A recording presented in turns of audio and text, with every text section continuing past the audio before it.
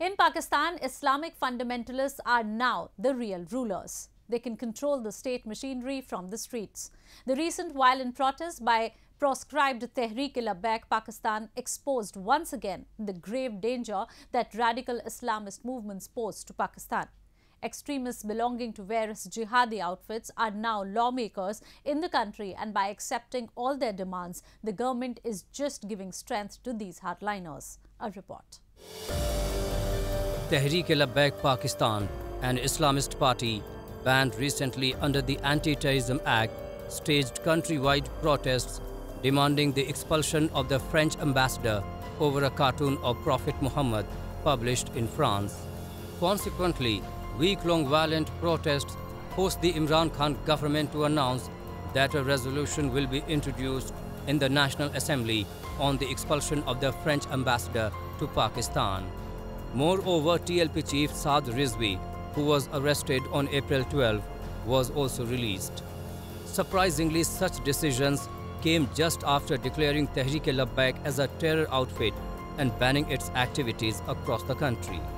It is the latest in a long series of surrenders to the Tehreek-e-Labbaik Pakistan group and its radical agenda.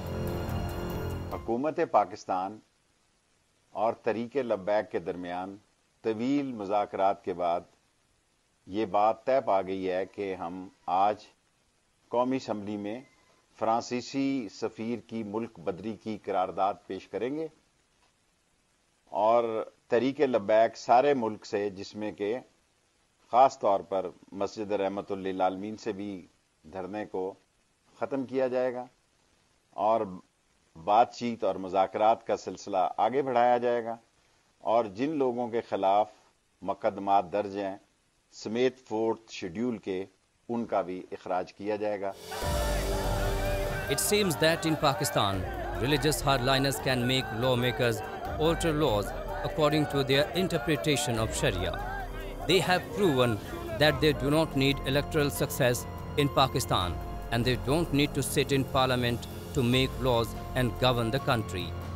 These Islamists are strategic assets that the military establishment uses to keep the civilian government under pressure. Moreover, the civilian government in Pakistan is also engaged in a cycle of appeasement politics. Prime Minister Imran Khan as opposition leader had tangoed frequently with various hardline religious outfits including Tehreek-e-Labbaik Pakistan. He presented himself to the electorate as a devout Muslim ready to come to the defense of Islam. Now these same radical groups have come to haunt him.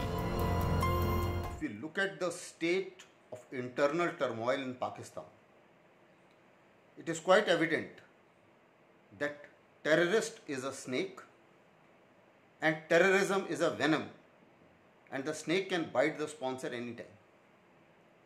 Pakistan started off with radicalization with Ziaul Haq starting off with Islamization and President Musharraf calling them as strategic assets trying to use it against various neighbors including India as proxies. They have used terrorists to their advantage, not realizing that when they become strong, obviously they will start dictating terms. Having pandered to the religious groups in the past, Pakistan is now paying the price for encouraging these fringe elements. The government is fearful of chaos on the streets and the street power of the mullah. It is a frightening situation in Pakistan, not only for religious minorities, but also for the majority Muslims. Pakistan has entered an era in which religious hardliners have more power to dictate their decisions from what is Islamic to what is not, and who is an infidel, a blasphemer, a sinner, and a Western agent. Pakistan Islamists have demonstrated that they are the state now.